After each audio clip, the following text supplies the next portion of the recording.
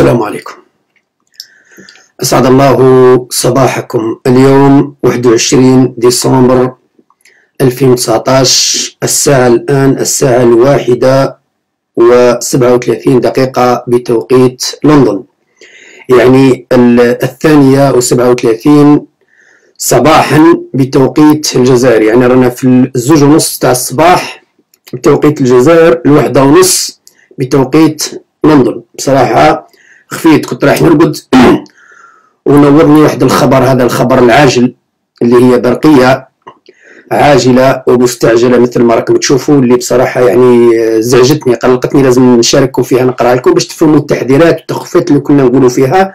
خلينا نقرأ معكم هذه البرقية بعد كده نرجعوا للنقاش تاع خمس دقائق راني دايخ ونعسان وراقد وكنت راقد ونوضت و... الجمهورية الجزائرية الديمقراطية الشعبية وزارة الدفاع الوطني المصلحة المركزية للشفرة. السلطة المرسلة. نائب وزير الدفاع الوطني رئيس أركان الجيش الوطني الشعبي. السلطة المرسل إليها توزيع عام يعني على مستوى كل قواعد النواحي. هذه البرقية يوم 19 ديسمبر يعني أمس. يعني قصدي أول أمس يعني يوم الخميس. اليوم رانا السبت مثل ما قلت لكم راهي الساعة واحدة ونص عندي يعني واحدة وثمانية وثلاثين دقيقة بالضبط. وعندكم راهي الزوج وثمانية وثلاثين دقيقة. البرقية هذه وش تقول؟ برقية صادرة في خانة سري طبعا سري سري للغاية.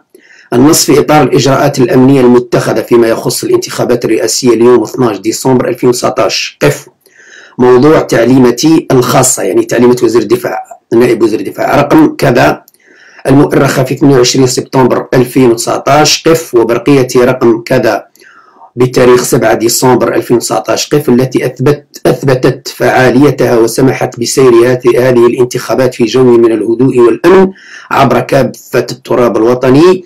قف يشرفني اختاركم قف رفع حالة الطوارئ. رقم اختاركم رفع حالة الطوارئ رقم واحد المقررة بهذه المناسبة ابتداء من يوم السبت 21 ديسمبر يعني ابتداء من اليوم لكن الصباح تبدأ. 2019 على الساعة 12 و آه، صفر صفر دقيقة. يبقى متفق عليه أن الوحدات المقحمة في تشكيلات مكافحة الإرهاب تواصل المهام المسندة لها تطبيقا لمختلف توجيهات المسدات في هذا الشأن. يعني كان من المفروض أنه حالة الطوارئ يتم رفعها آه، يوم 21 ديسمبر. إذا قال لهم ما ترفعوش حالة الطوارئ يعني استمروا. لهذا الغرض يسدي قادة النواحي العسكرية تعليمات للقيادات العملياتية تحت قيادة كل منهم للحفاظ على اليقظة في أعلى درجة قف الإبقاء على الضغط على ما تبقى. شوف هذه اللي اللي مهمة وهذه اللي نوضتني من الرقاد بصراحة الإبقاء على الضغط. يعني قائد الأركان راه يقول الإبقاء على الضغط على ما تبقى من الشراذم الإجرامية. بتكثيف العمليات الهجومية في العمق. يعني كلام هذا خطير وخطير جدا. لأن الإجراءات الأمنية المتخذة فيما يخص الانتخابات الرئاسية 12 ديسمبر يعني متخذة ضد المشوشين على الانتخابات الرئاسية. يعني ضد شباب الحراك الوطني مو ضد الإرهابيين مش نتكلموا على الإرهاب هنا أنا نتكلموا على الجماعة اللي كانوا ضد الانتخابات واللي كانوا معارضين إجراء الانتخابات في 12 ديسمبر. إذا حالة الطوارئ التي قررها قائد الأركان نائب وزير الدفاع في 28 سبتمبر 2019 من المفروض تنتهي يوم 21 ديسمبر يعني اليوم صباح تنتهي قال لهم كملوا الإجراءات واليقظة ويعني ما توقفوش حالة الطوارئ أبقاو على أتم الاستعداد واليقظة وكذا وكذا من أجل ماذا؟ من أجل الإبقاء على الضغط يعني الضغط على الشارع على الضغط على المواطن على الشعب الجزائري والضغط على ما تبقى من الشراذم الإجرامية يعني الشعب هذا راه يخرج شرذمة كما قال يعني القايد صالح لم يغير من خطابه الأول كي كان يقول على الشعب الجزائري وشباب الحراك اللي يخرجوا كان يقول لهم شراذم يعني مازال يسميهم شراذم وقتاش هذه في 19 ديسمبر يعني البارح فقط. يعني يوم الخميس. لأنه اليوم السبت رانا 21 البارح الجمعة كنا 20 19 يعني يوم الخميس.